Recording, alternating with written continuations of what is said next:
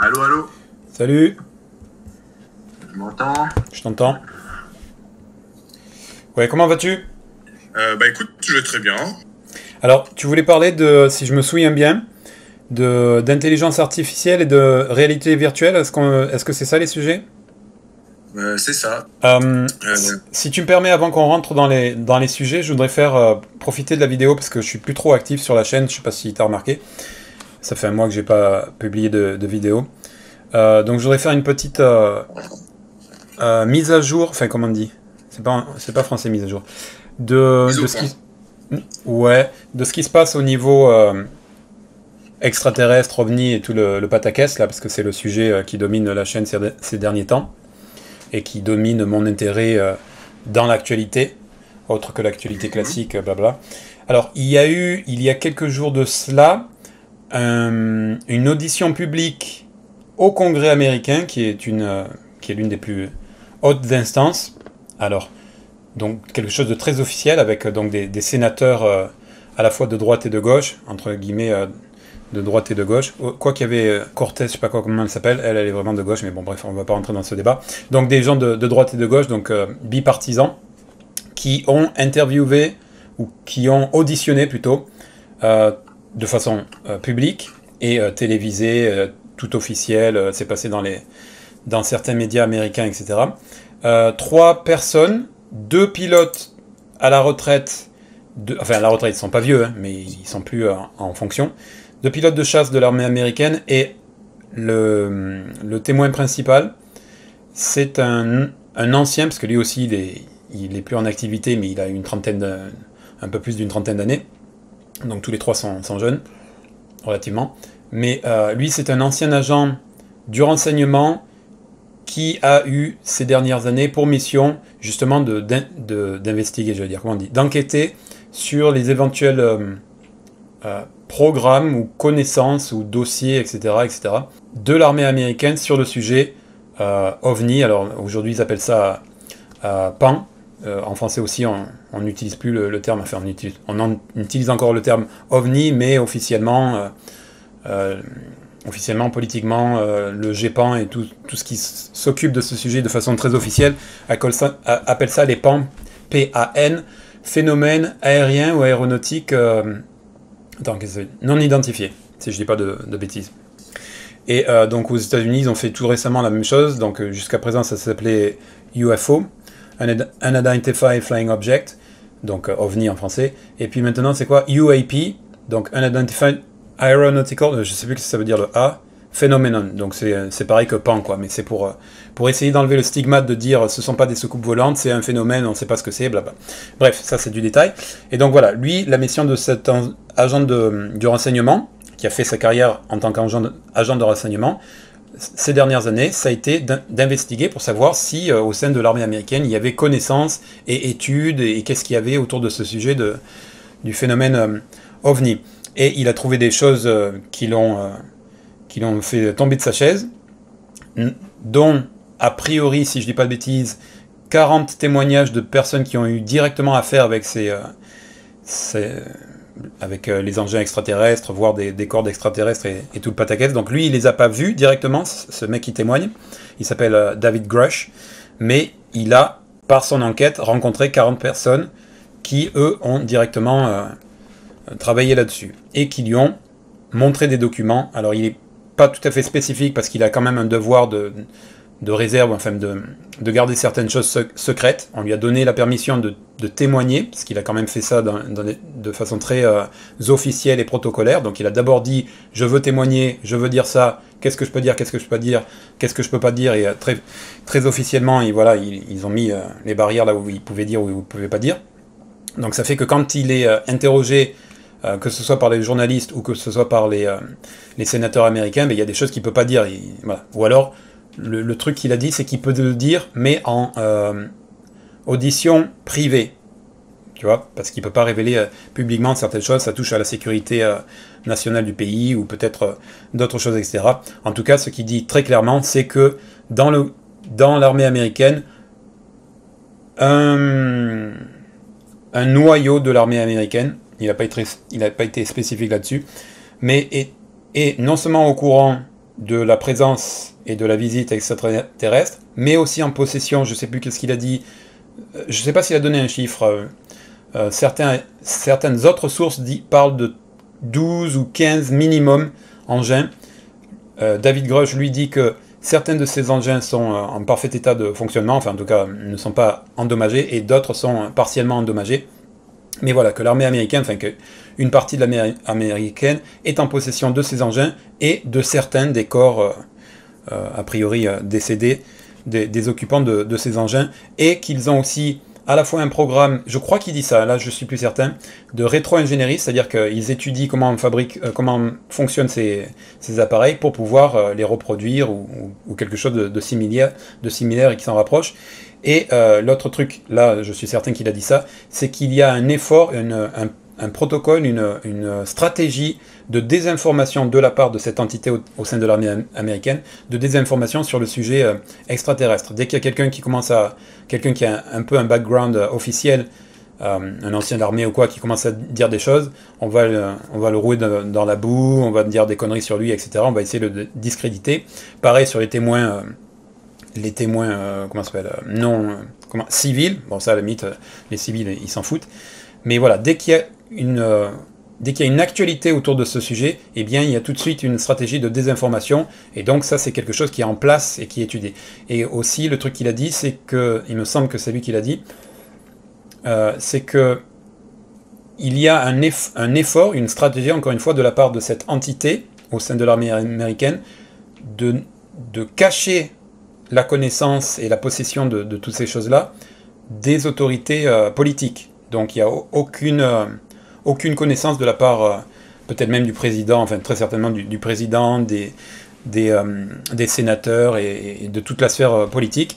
Voilà, c'est vraiment quelque chose de garder secret au sein de, de l'armée américaine, même si, quand on étudie le sujet profondément, eh bien, il y a eu plusieurs informations assez importantes et d'origine militaire qui, sont sortis. Mais eux, voilà, il y, a, cette stratégie. Donc lui, ce qu'il essaye de dire, c'est que c'est quelque chose d'important pour le public américain et pour le monde entier de, connaître l'existence des extraterrestres, et aussi de dire attention, il y a, y a une activité illégale au sein de l'armée qui n'a aucune supervision euh, politique et légale, etc. Euh, etc.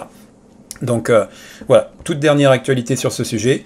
Lui, c'est le témoin le plus important, et de pilotes euh, deux anciens pilotes de, la, euh, chasse de l'armée américaine qui, disent, qui eux témoignent de leur, de leur euh, témoignage première main, de leur observation d'engins d'engins qui ne correspondent à rien de ce qu'on connaît, qui défient les lois de la, physique telle qu'on la connaît, c'est-à-dire qui font des accélérations impossibles, etc., etc., et qui ont un, comportement intelligent, c'est-à-dire que quand ils essayent de les prendre en chasse, eh bien, ils s'enfuient, et puis, euh, des fois, c'est l'OVNI qui va prendre en chasse. Enfin, prendre en chasse, ça veut simplement dire suivre. Hein.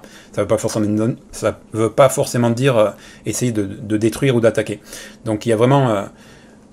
Euh, il, y a, vraiment trois éléments. Ce sont des appareils qui nous ressemblent... Enfin, ils sont capables de les voir assez près. Il y a aussi des, des éco-radars et des caméras infrarouges ou je sais pas quoi. Enfin, tout un tas d'enregistrements de ces engins qui semblent solides. Donc, ce n'est pas, pas un, phénomène naturel, météorologique ou que sais-je. Donc, il y a ce, donc il voit bien que c'est un truc a priori métallique, tu vois, de, euh, de, cette couleur-là. Métallique, tu sais. Et euh, ça, c'est le premier élément, objet euh, physique. Deuxième élément qui, qui, a, qui est capable de faire des manœuvres absolument impossibles dans notre compréhension de la, de la science, parce que s'il y a quelqu'un à l'intérieur, eh il est mort, quoi les vitesses d'accélération et de, et de décélération, enfin même pas de décélération, mais de, s'arrêter net si un mec à l'intérieur il est, il est écrabouillé. Quoi. Euh, et puis qui, qui, ce qui confirme aussi que c'est à la fois un objet et à la fois un objet fabriqué, euh, artificiel et non naturel, c'est que voilà, il y a des, des, manœuvres d'évitement, des manœuvres de, de, escape, comment tu dis en français, de, de, fuite, et des manœuvres de, poursuite, etc., euh, etc. Donc voilà pour, ces deux pilotes de l'armée américaine. Et euh, ceux qui connaissent le sujet, je, termine là-dessus, ceux qui connaissent le sujet n'ont rien appris avec cette audition publique. Et donc il y a beaucoup de déçus sur, la, sur Internet qui disent ouais, tout ça on le savait déjà, machin truc.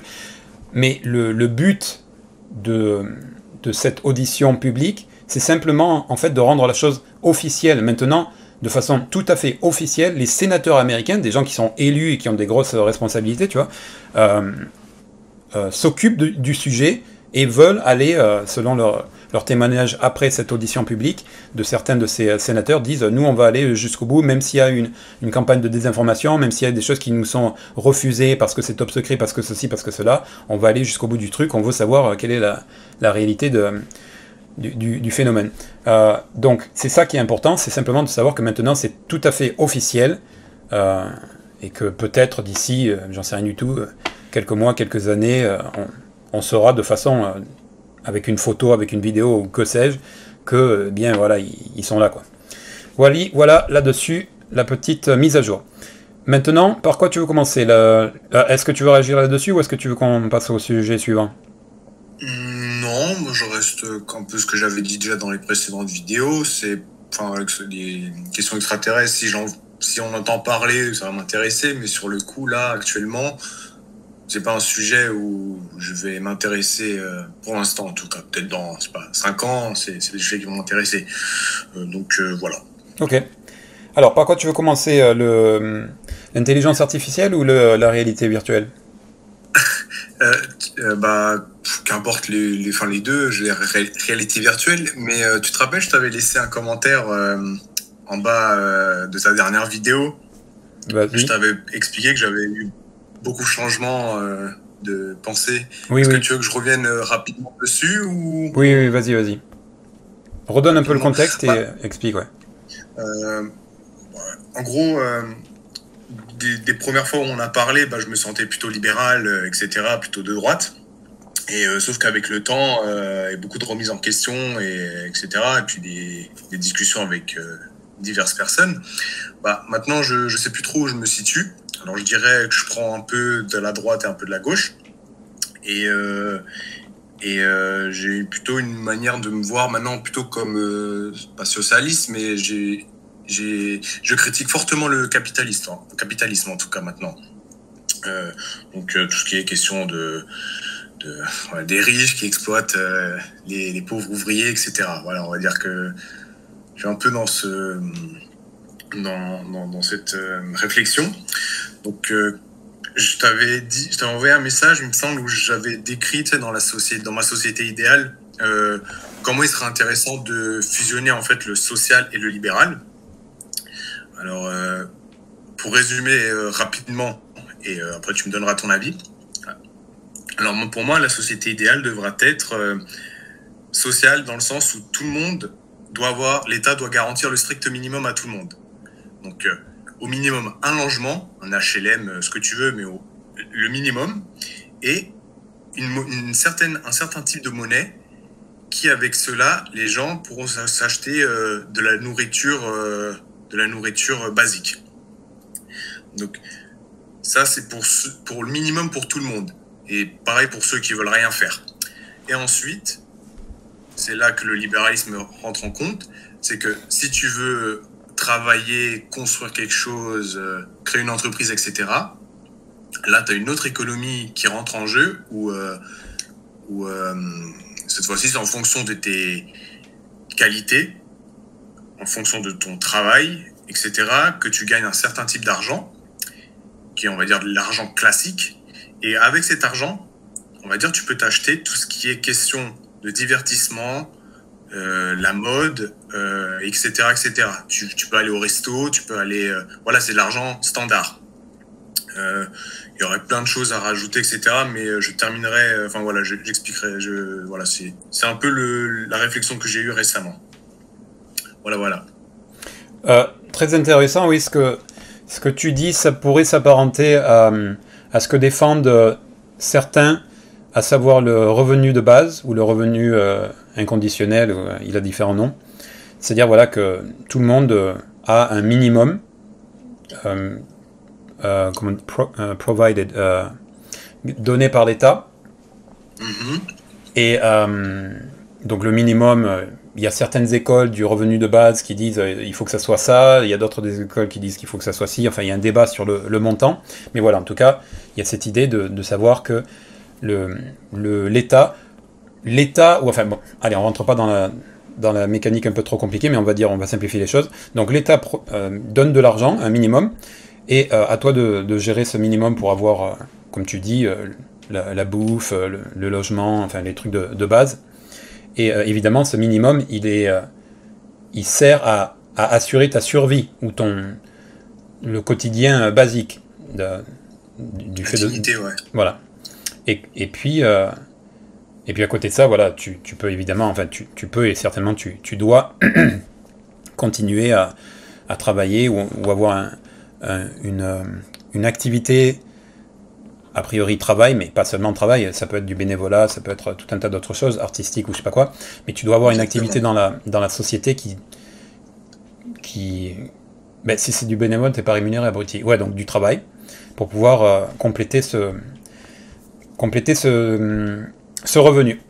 Donc, euh, a, priori, tu t'inscris dans, ce, dans cette idée-là, et je pense, je ne sais pas si la, société est, mûre pour ça, j'ai pas l'impression, vu qu'on a réélu euh, cet abruti de, président, euh, donc on continue à faire n'importe quoi, mais en tout cas, ce, débat, cette idée-là, et, ça fait longtemps qu'elle est dans la société, et elle infuse plus ou moins les cerveaux, et peut-être qu'à un moment donné, eh bien, on, en arrivera à une étape euh, plus avancée de la société en mettant en place ce revenu de base. Alors, euh, en disant ça, je me souviens qu'il y a aussi des, de grosses critiques, à la fois de, évidemment de droite qui dit ouais non mais euh, on n'est pas là pour faire des assistés qui vont rien qui vont rien foutre etc mais aussi de gauche enfin l'idée du revenu de base elle est plutôt de plutôt pro, pro mu par des gens de gauche, mais il y a aussi des gens de droite ou, des gens vraiment libéraux, mais qui libéraux, euh, bref, qui la défendent.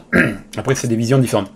Mais ce que je veux dire, c'est que les gens de gauche qui la, qui la critiquent, euh, enfin, parmi les gens de gauche qui la critiquent, alors, il y a une critique sur le montant. Si c'est pas suffisamment important, eh bien, pour eux, c'est euh, c'est maintenir les gens dans la, dans la précarité, etc. Donc il y a cette critique-là qu'on peut entendre, qu'on peut discuter. Mais il y a aussi, plus spécifiquement, euh, comment il s'appelle euh, Bernard Friot, qui lui défend une autre idée. Il est très critique, c'est un mec de, gauche communiste, euh, communiste et chrétien, je crois. Et, ce mec-là, il défend, il, est très très critique du revenu de base. Il trouve que c'est une idée justement qui, accompagne le capitalisme. Tu vois, lui, à ce point, il est à ce point critique. Alors que normalement, les gens qui, qui, euh, promeuvent le, revenu de base, c'est justement des gens qui sont critiques du capitalisme et qui essaient de trouver des, solutions pour, amoindrir ou en sortir. De mon point de vue, le revenu de base, c'est une étape qui va nous libérer, peut-être pas du jour au lendemain, tu vois, c'est pas en l'instaurant que, mais c'est une étape qui va nous libérer du, du, capitalisme. Et, Bernard Frieux, lui, lui, il dit pas du tout, c'est une si on instaure un revenu de base, ça va au contraire euh, faire perdurer encore le, capitalisme. Et lui, donc, il propose quelque chose qui, euh, qui s'appelle le revenu, le salaire à vie. Alors lui, il n'aime pas, pas dire salaire à vie. C'est la simplification de son idée. Je crois que son, idée, c'est le salaire à la qualification, euh, le salaire à la personne ou à la qualification, un truc comme ça. C'est-à-dire qu'à partir du moment où tu as une, qualification, un degré, tu vois, une qualification quelconque, eh bien, il y a un salaire qui correspond à ça. Et peu importe que tu travailles ou que tu travailles plus, ou que tu travailles dans un truc qui n'est euh, pas en correspondance avec ta qualification, tu dois avoir à vie ce salaire. Et si demain tu as une meilleure qualification, eh bien tu dois avoir une augmentation de, salaire proportionnelle, enfin en rapport avec cette euh, qualification.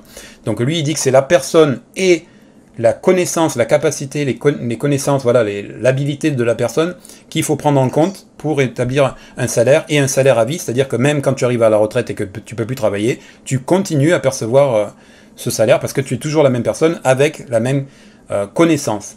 Euh, regardless, comment tu dis en français. Peu importe le fait que tu appliques ces connaissances, que tu travailles ou pas. Bon, a priori, son idée, c'est quand même que tu foutes quelque chose, hein. euh, parce que c'est un gros défenseur des travailleurs, comme je te dis, c'est un communiste. Mais, mais voilà. Donc son idée, elle est différente. De mon point de vue, j'en ai fait des vidéos, je ne vais pas trop rentrer dans le détail. cherchez sur ma chaîne si ça vous intéresse. Mais à mon avis, les deux systèmes, revenu de base et salaire à vie ou salaire à la qualification, blablabla, ça répond à deux choses différentes et comme ça répond à deux choses différentes, eh bien ça se complète de mon point de vue. Mais, euh, mais voilà, c'est simplement pour te dire qu'il y a, y a quand même, que ce soit à droite et à gauche, des critiques du revenu de base et en même temps, à droite et à gauche, des gens qui sont en faveur du revenu de base. Après, pas tout le monde a la même, la même idée. notamment, je termine là-dessus, l'idée de droite, en tout cas qui est critiquée par euh, la gauche qui est pro, euh, pro revenu de base, c'est, ça serait qu'il n'y a plus aucun, aucune allocation familiale, euh, je sais pas quoi, enfin toutes les allocations qui existent, elles sont toutes fondues dans le, salaire, dans le revenu de base et euh, je crois qu'il y a une, histoire de montant aussi. Euh, la, droite ne veut pas que le montant soit trop important. Enfin, je sais pas. Mais voilà. Alors qu'à gauche, on dit non, non. Il y a, y a, certaines, comme le RSA, tout ça, qui peuvent disparaître. Mais il y a d'autres allocations qui ne. Ça doit être indépendant. Le revenu de base et les allocations, je sais pas moi, familiales ou handicap ou, ou je sais pas quoi. Je sais pas ce qu'ils disent exactement, où est-ce qu'ils mettent la barrière enfin la, limite, je veux dire. Mais eux, ils disent euh, allocation et revenu de base, c'est pas nécessairement tout euh, la même chose et les deux doivent euh, perdurer. Donc voilà, c'est une vision différente du revenu de base. Voilà. Bah, j'avais commencé à regarder, enfin, j'avais regardé plusieurs vidéos de Bernard Friot.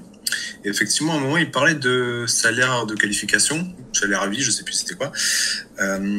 et j'avais tiqué un peu dans cette manière d'expliquer. je ne comprenais pas comment c'est possible en fait euh, C'est-à-dire par exemple, tu as quelqu'un qui a fait des études pour faire chirurgien, qui a pratiqué la chirurgie, donc on va dire, on va dire que dans une société idéale, etc., c'est un métier assez valorisé, respecté.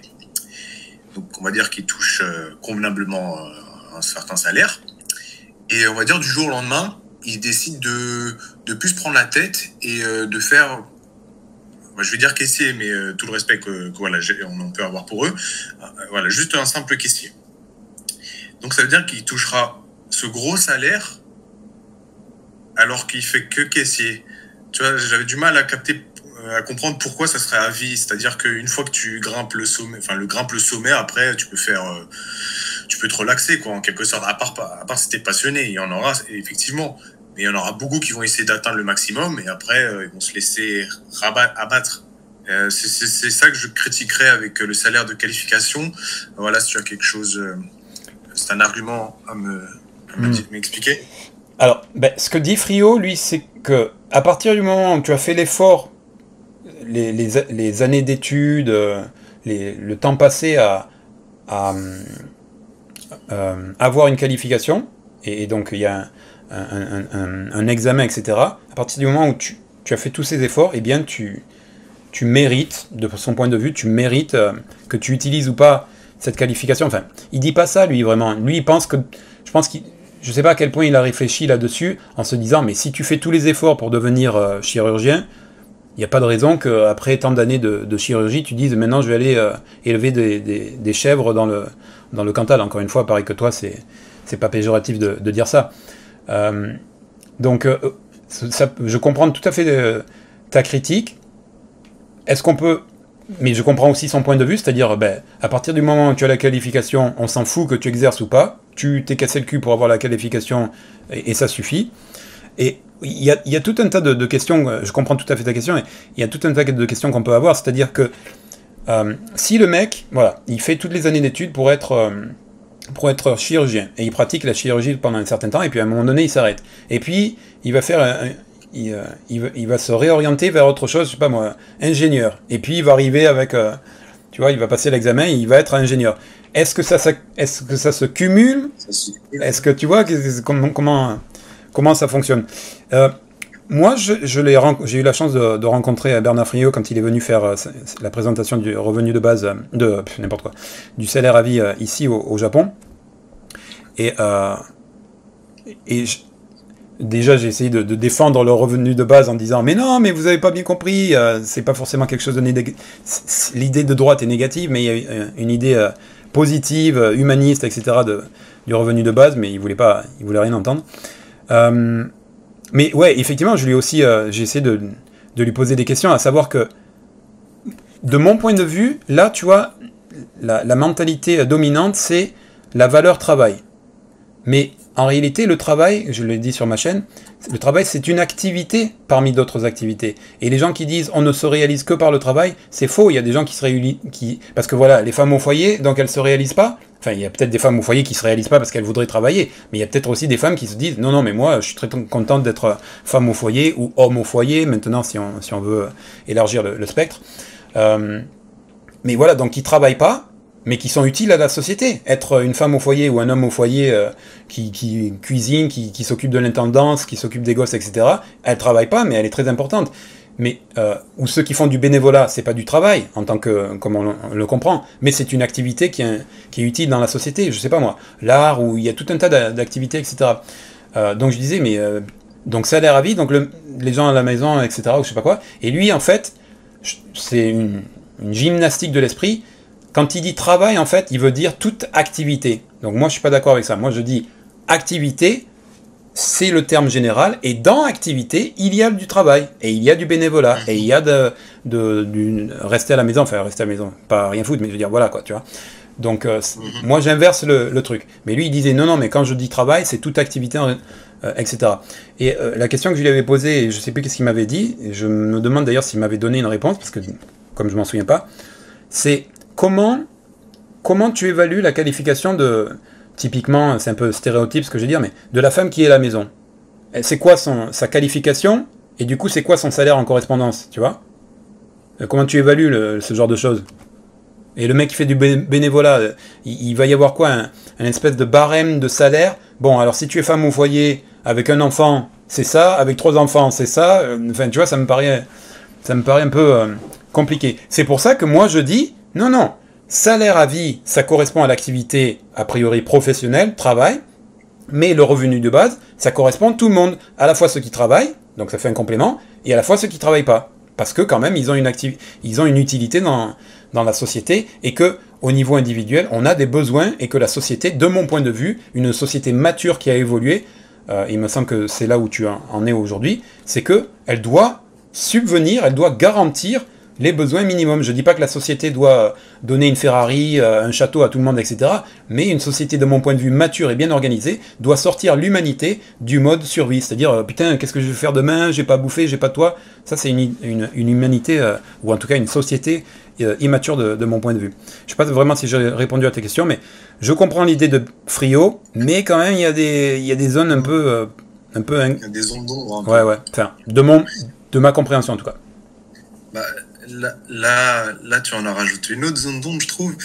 Quand toi et Bernard Friot, j'ai sûrement pas dû bien comprendre, mais quand vous comparez ce, travail, activité, euh, développement de la société, je, je suis un peu perdu parce que, enfin, on va dire que pour moi, un, travail, alors je vais dans ma société idéale, on va dire un travail, c'est quelque chose euh, qui apporte quelque chose à la société d'un point de vue euh, développement. Donc, euh, par exemple, ça peut être euh, fabriquer, créer, créer de la nourriture, développer les, les, les sciences. Qu'est-ce que ça va être d'autre Oui, la vision classique. Mais on va dire activité, par exemple, jouer au foot. je, je comprends pas. Enfin, jouer au foot ou faire des dessins ou enfin faire des, des œuvres d'art, à part dans un système libéral, je ne vois pas comment ça, ça peut être. Euh, pourquoi l'État donnerait de l'argent en fait à ça, à ça Ouais. Euh, quand tu dis jouer au foot, tu veux dire jouer au foot en tant, comme les professionnels ou jouer au foot euh, en tant qu'amateur? Amateur. C'est-à-dire que tu es dans un club. Voilà, c'est ta passion, c'est ton activité, tu joues bien au foot, bon, trois fois pas dans la semaine, voilà, enfin même cinq fois dans la semaine, voilà, c'est ton activité. Techniquement, enfin c'est gentil, c'est ton activité, donc t'aimes bien faire ça, mais en quoi la société doit te donner l'argent pour ça? Ok. c'est plutôt ça. Ouais, ouais. De, de mon point de vue, celui qui, qui, qui n'est pas professionnel, hein, qui fait du foot de façon amateur ou du rugby ou peu importe, euh, lui, il perçoit le salaire, euh, le putain, je vais y arriver, oui, le revenu de base, comme tout un chacun. Donc, euh, il a un minimum pour vivre, blabla. Et s'il veut pas travailler en tant, tel qu'on l'entend de façon classique, et qu'il veut passer ses journées à jouer au foot, ben voilà, il faut qu'il se démerde avec le, minimum qu'on lui donne. Mon avis, ça, ça sera vraiment, si ça existe, je pense que ça existera quand même, ça sera quand même un minimum de, enfin, je veux dire un faible pourcentage de la, de la population, et de mon point de vue, ça ne sera pas un problème pour la société pour de se développer, perdurer, se développer, etc. Donc il y aura vraiment très peu de gens qui se diront, moi je suis très content avec mes 500 euros par mois, tu, vois, si on dit que le salaire avise, le salaire, que le revenu de base c'est ça, je suis content avec ça, j'ai besoin de rien, tant que je mange, j'ai un ballon, je vais jouer, je vais à la plage, voilà. eh ben, il peut faire comme ça, ça, ça pose pas de problème pour la société, même si j'ai conscience qu'à l'intérieur de la société, il y aura des gens comme aujourd'hui, avant que ce système euh, de revenus de, de base existe, il y a des gens qui diront Eh putain, ça me fait chier là, pourquoi il fout rien et que moi je me lève le cul? Mais non, mais toi, si tu veux te lever le cul, lève-toi le cul, laisse le mec qui veut rien foutre. Il a ses 500 euros, eh ben, il est content avec ça, laisse-le, qu'est-ce que ça peut te foutre, quoi, tu vois, laisse-le tranquille, quoi. Si l'idée c'est Ouais, mais c'est moi qui lui paye ses 500 euros, moi je réponds à cette, à cette problématique de jalousie. Bon, on, on peut simplement dire Mais, mais euh, tes impôts, ils servent à tout un tas de trucs, et ça, ça, te, ça te sert pas directement. Par exemple, si tu es toujours en bonne santé, oui, mais dans les impôts que tu paies, il y a une partie qui va pour le, système de santé. Mais toi, tu dis, ouais, mais moi, je suis toujours en bonne santé, pourquoi est-ce que je devrais payer pour les autres? Tu vois, c'est pas une bonne mentalité. Mais bon, je laisse, je, il y a ça. Mais euh, ce que je voulais dire, c'est que je réponds à cette, à cette, à ce manque d'empathie, peut-être, en disant, t'inquiète pas, gros, c'est pas avec ton salaire, avec, c'est pas avec tes impôts, parce que ma solution, en tout cas, je, pense que je suis le seul à, proposer ça, enfin, je suis pas certain, mais a priori, c'est que le salaire, le revenu de base, il est fabriqué ex nihilo. D'accord? C'est pas l'État qui collecte les impôts. On peut avoir un État qui collecte les impôts pour les routes, pour les hôpitaux, pour la défense, pour ceci, pour cela, comme maintenant. Mais aussi, on peut, en parallèle à ça, simplement rendre le, la, la, Banque de France ou créer un nouveau, euh, une nouvelle euh, institution dont le job, ça sera de fabriquer, parce que l'argent, c'est comme ça que l'argent est fabriqué, ex nihilo, c'est-à-dire à partir de rien du tout, à partir d'une décision. Je rentre dans mon ordinateur un million, hop, ça y est, un million est créé, ça, sort de nulle part. Donc, ce que je veux dire, c'est que voilà, le revenu de base, il est créé de façon ex nihilo, on va pas prendre l'impôt à personne, donc personne ne pourra dire, eh, moi je suis en train de payer euh, avec mes impôts, je paye euh, ce glandeur qui joue au foot. Non, non, c'est pas, pas toi qui, qui fais ça. Euh, voilà, ça c'est pour le joueur, de foot. S'il est content avec ses 500 euros, on n'a rien à dire là-dessus, euh, il fait pas de mal à la société, même s'il ne contribue pas nécessairement à la société. Maintenant, pour le mec qui dessine, alors ça, de, quoi on parle? Si c'est chez lui comme ça, évidemment, c'est pareil que le mec euh, qui joue au foot, mais si c'est créer de l'art, on peut considérer, toi et moi on en a parlé, que c'est un asset, oh putain, je sais plus parler français moi, que, un, que ça rajoute à la société, tu vois. Un mec qui crée de l'art, après, bon, il y a est-ce qu'on aime ce qu'il fait ou est-ce qu'on n'aime pas? L'art, c'est subjectif, etc. Je sais que, euh, comment il s'appelle, Vincent Lapierre, euh, il fait des reportages en disant Putain, c'est de l'art ça? C'est quoi cette connerie Tout ça? Je peux, je peux comprendre. Mais bon, l'art, c'est subjectif. Il y a peut-être des gens qui, qui apprécient. Euh, en dehors de ce débat-là, on peut considérer que les gens qui, qui dessinent de façon publique, enfin, qui, qui produisent un, des œuvres d'art, on peut considérer que c'est une plus-value, c'est ça le, terme que je cherchais, à la société, parce qu'il crée du beau, ou il crée de l'intrigant, ou il crée euh, de l'inspiration, il crée quelque chose qui apporte à, la société. Et euh, dernier point, tu l'as pas soulevé, mais au cas où, et tu me diras si j'ai répondu à ta question, est-ce que tu es d'accord avec moi que la, je reste dans un schéma classique, que la femme qui est au foyer, elle contribue à la société même si elle travaille pas? On est d'accord là-dessus ou pas? Je, veux bien, je veux bien, on va dire, euh, être d'accord, mais j'aurais besoin de plus d'explications à ce sujet parce que j'ai l'impression que c'est dit comme si c'était une évidence. Euh, voilà, alors que moi qui ai plutôt un esprit critique, qui aime bien euh, faire un peu l'avocat du diable, j'aimerais bien savoir où est-ce que. Qu'est-ce que ça veut dire ça exactement? Ok. Alors, de mon point de vue, la... je suis dans un schéma classique, hein, je vais pas me faire chier à dire l'homme au foyer, la femme au foyer, mettez. Voilà. Donc, je veux dire, schéma classique. La femme au foyer, euh, et je suis pas en train de dire que les femmes doivent rester au foyer, hein, c'est pas ce que je dis, bordel. Donc, la femme au foyer, elle, de mon point de vue, elle perçoit le revenu de base, pas nécessairement le salaire à vie, parce que moi, je fais la distinction. Alors que, comme il s'appelle, euh, Bernard Friot, lui, il dit tout le monde perçoit le, salaire à vie. Donc, je suis pas Bernard Friot, je défends pas, j'attaque pas, mais je fais une distinction entre ma position et la sienne, même si je trouve que la sienne est très, euh, très euh, intéressante et, et de, de, nature à, à, faire évoluer la société de, euh, vers l'avant. Mais, donc, moi, ma position, c'est que la femme au foyer, elle ne perçoit pas le salaire à vie, mais elle perçoit, comme tout un chacun, riche ou pauvre, le revenu de base.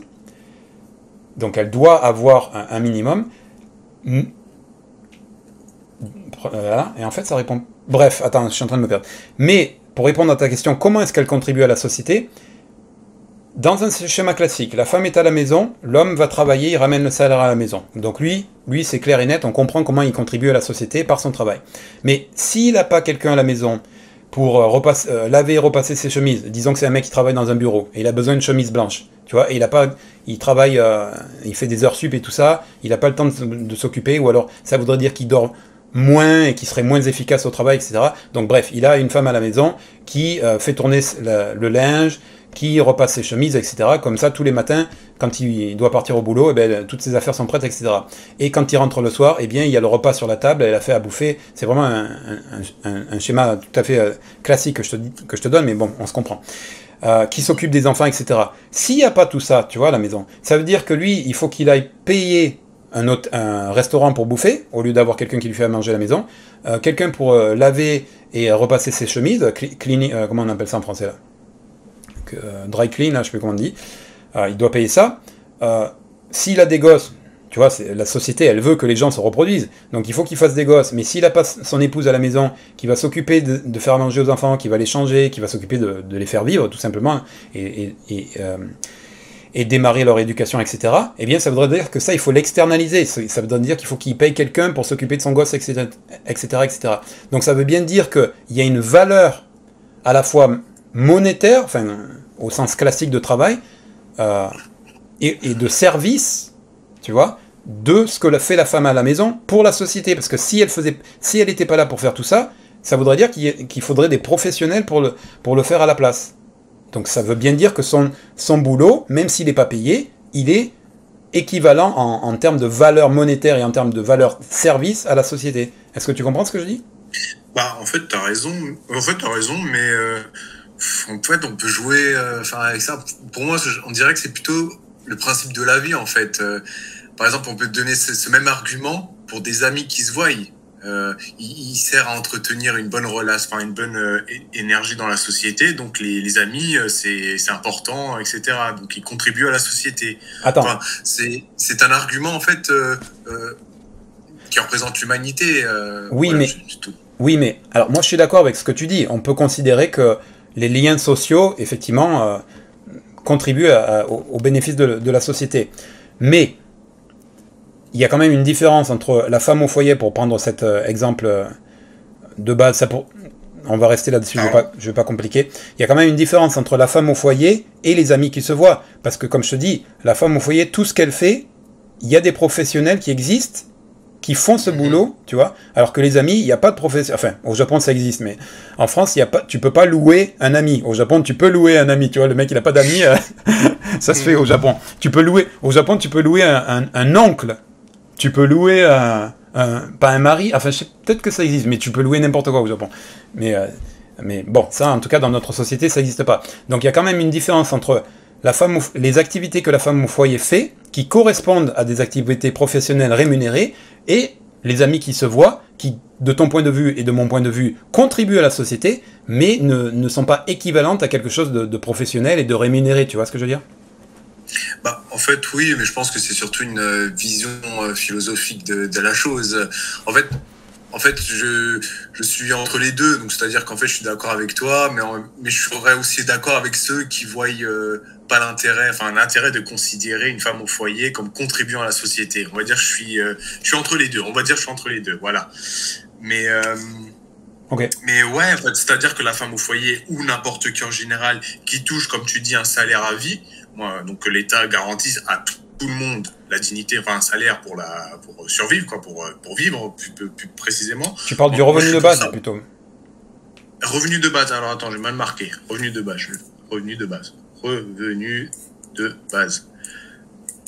Revenu, voilà, le revenu de base pour tout le monde. Donc, en fait, on, dit plus ou moins la même chose. Et comme tu as dit euh, que tu veux, que toi, tu es entre les deux, entre le, salaire à la qualification et le revenu de base, bah, c'est un peu ce que j'avais dit au début, entre que l'État garantit à tout le monde un salaire minimum et euh, ensuite que chacun, euh, que chacun, en fonction de ses qualités, du, boulot qu'il fait, etc., un salaire euh, qui lui est propre, qui permet de, faire autre chose. Et euh, pour ma part, je terminerai, si tu permets, euh, de parler de, du libéralisme dans ma société idéale et pourquoi est-ce que j'ai changé, que je suis devenu plutôt social entre-temps.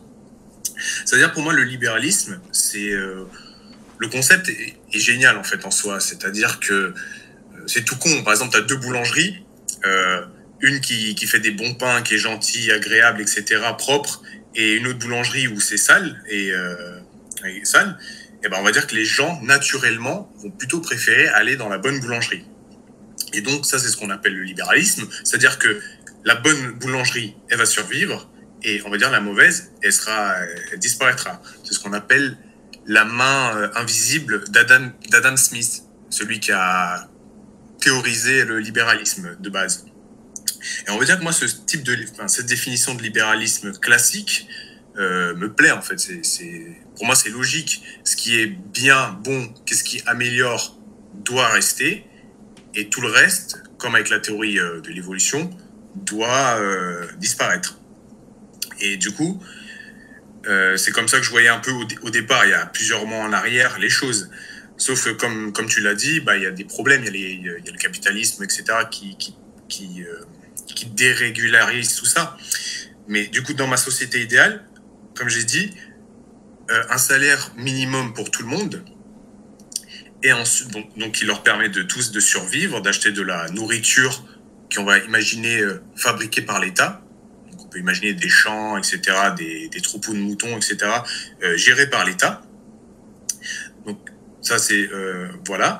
Et ensuite, les gens, entre eux, pour se divertir, parce qu'une fois qu'on qu sub, euh, je, sais pas comment le dire, subvient, subvient euh, aux, besoins primaires, donc c'est-à-dire la, nourriture, le logement, la santé, euh, que sais-je.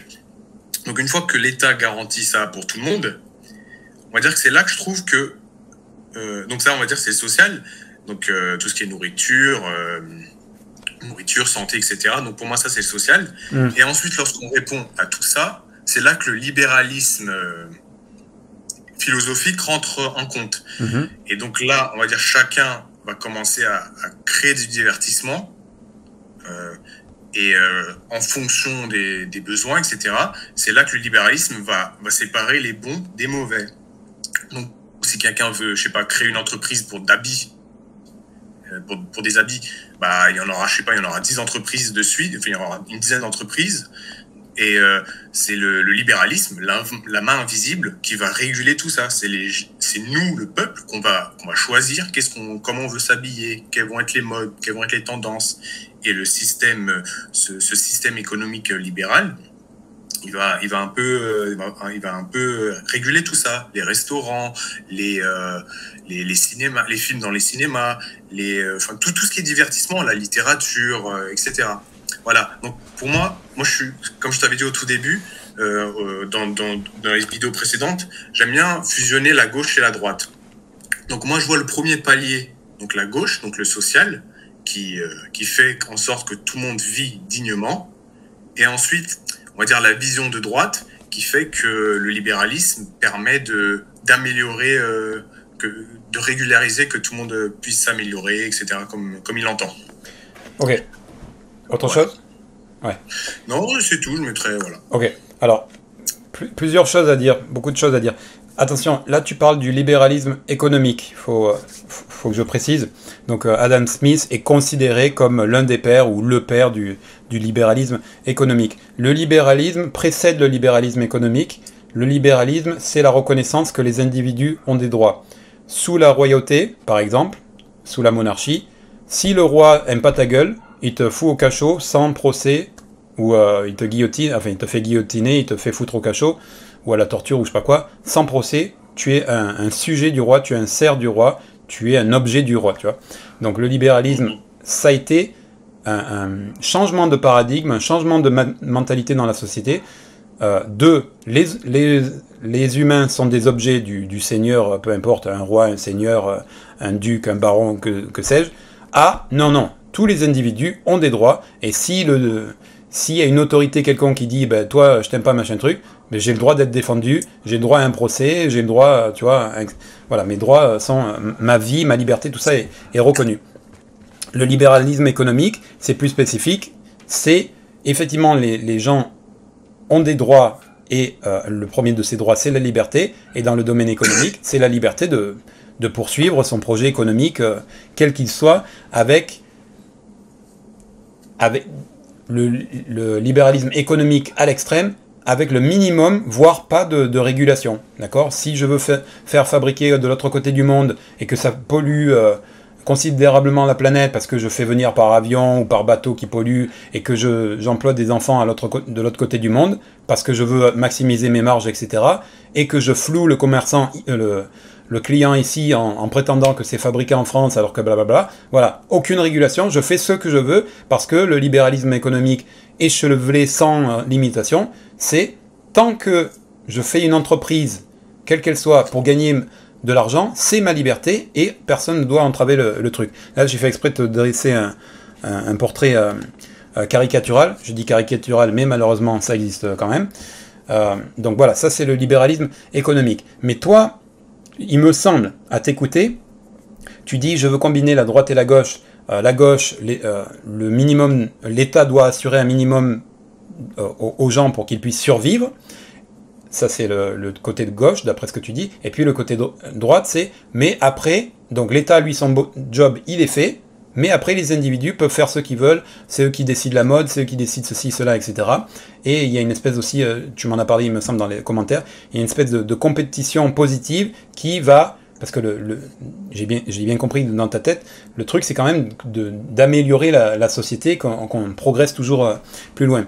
Il me semble qu'en réalité ça, c'est tout simplement le socialisme. Et il me semble pas que ça soit nécessairement lié à, une idée de, droite. Il y a dans la droite l'idée de, compétition et de, non-intervention ou d'intervention minimum de, l'État, mais en réalité les socialistes, la différence entre socialistes et communistes, c'est que le communiste, eux, ils disent tout doit être régulé par l'État et l'État est aux mains des, travailleurs, tu vois. Mais les socialistes disent non, l'État il a telle et telle et telle émission, des missions régaliennes, euh, l'éducation, la, sécurité, euh, les infrastructures, blablabla, bla, bla, bla, et dedans on peut inclure le, revenu de base, mais euh, et aussi une, mission de, régulation de, l'économie, mais l'économie est libre, est libre dans la régulation, c'est-à-dire comme je te dis, si demain la loi dit tu peux plus faire Attends une seconde.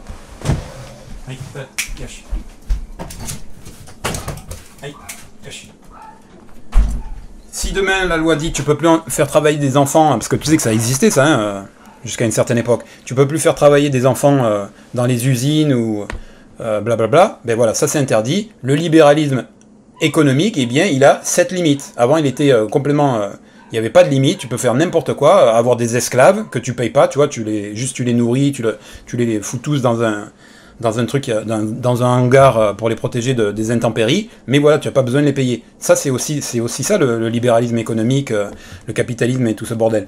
Donc voilà, le socialisme, c'est de dire l'État a des missions, mais il a aussi la mission de réguler l'économie, pour que cette économie puisse florir, parce que le socialisme dit c'est pas à l'État de tout faire. Nous, peut-être que l'État ne va pas savoir faire des bagnoles ou ne va pas savoir faire euh, des fusées ou que sais-je. Enfin, ça c'est pas des bons, des bons exemples parce que c'est aussi euh, le, s'appelle l'ESA ou je sais pas comment ça s'appelle, c'est étatique, mais euh, je sais pas voilà des, des, fringues. L'État n'a pas fonction à faire des, des fringues et ça c'est c'est au marché, comme on dit, donc aux individus de, se démerder à faire des fringues, des chaussures, des, accessoires, des, appareils photo, des ordinateurs et tout le bordel, et tout, etc., etc. Donc le socialisme, il dit ça. Ça, c'est pas à nous de le faire, c'est à vous de vous démerder. Par contre, vous pouvez pas le faire, tout, ça là, vous pouvez pas le faire n'importe comment. Vous pouvez pas, vous pouvez pas fabriquer des, ordinateurs en rejetant les produits chimiques dans, la nappe phréatique ou dans les, dans les, lacs, etc. Il faut que vous recycliez, ou, enfin, tu vois, voilà. Le socialisme, il dit, libre marché, mais libre marché dans la limite du respect de la nature, du respect des consommateurs, du respect des travailleurs, enfin voilà quoi, de pas de pas faire n'importe quoi quoi. Mhm. Bah, euh, en fait ouais, si, tu me dis que le socialisme, le socialisme c'est ça, bah ouais, je suis tout à fait d'accord. Moi, enfin ce que tu dis euh, par rapport à l'économie, moi j'aurais plutôt, enfin j'utilisais le terme avant de libéralisme, humanisme, humaniste, c'est-à-dire hein, on laisse les gens, on va dire, gérer entre eux le l'économie, le libre-échange, mais en fonction de, certaines règles humaines, donc pollution, euh, droits de l'homme, etc., heures de travail, euh, etc. Mm. Donc euh, voilà, je pense qu'on est d'accord sur ça. Ok, ça, ça, ce que je t'ai dit, c'est théorique, d'accord? Dans la pratique, Hollande, il dit qu'il est, il est socialiste, mais la politique qu'il fait, elle n'est pas socialiste. Ça, c'est vraiment ce que je te dis, c'est le, la théorie, vraiment, euh, si tu lis le, socialisme dans les livres, etc., le socialisme, c'est ça. Mais dans la pratique, c'est autre chose. C'est un peu comme n'importe quoi. Il y a la théorie et la pratique. À partir du moment où tu pratiques quelque chose, eh bien, euh, il faut gérer avec la réalité. Et des fois, tu n'es pas tout à fait dans le dans le, la limite de la théorie parce que tu débordes, parce que euh, tout, un tas, tout un tas de trucs. de mon point de vue, le programme, tu sais, tu sais de, où je me situe politiquement, le programme qui se rapproche le plus du socialisme ou qui est véritablement socialiste, c'est le programme de la France Insoumise. Le programme du PS, bon maintenant le PS, il, je sais plus où il est, mais le programme de Hollande, c'était pas un programme socialiste. Tout le monde croit que, ah oui, euh, parti socialiste, ça veut dire qu'ils sont socialistes. Non, non, non, il faut étiquette et réalité, c'est souvent deux choses différentes. Il faut, il faut, euh, faut faire très attention. Hein. Donc moi je suis tout à fait critique, euh, je peux rejoindre des gens de droite qui disent euh, Boubou, euh, comment il s'appelle Hollande c'est de la merde. Je suis d'accord avec ça, même si c'est peut-être pas forcément pour les mêmes raisons, mais c'est pas du tout socialiste Hollande. Qu'est-ce que je voulais dire? Alors, moi je suis, d'ailleurs Ruffin, je sais pas si tu vois ce qu'il c'est Ruffin, il dit un peu la, même chose me semble-t-il, et encore que j'ai une position un peu quand même différente.